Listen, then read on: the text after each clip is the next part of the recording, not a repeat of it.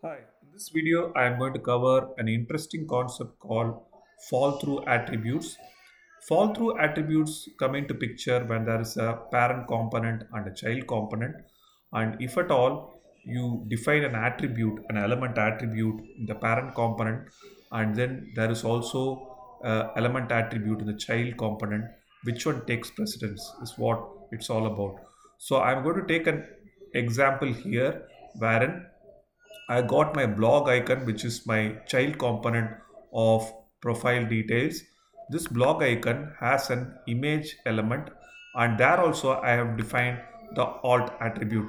So if I go to my icon blog, so I have alt defined here and there is alt defined at this level also.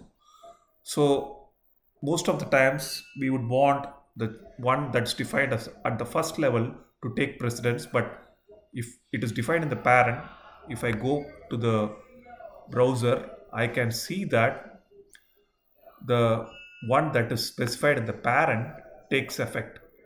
So in order to overcome this there is an option that you can specify in the child component. So i will do that at this point. So what i have to do is i have to say script setup. Script. Now there is a macro called define options. And within this I can specify inherit ATTRS camel case and say false. So when you do this the child alt will take effect because the parent is totally cut off from inheritance. So let's see that in action. Yeah, so now I can see my blog instead of showing what is there in the parent for this particular element.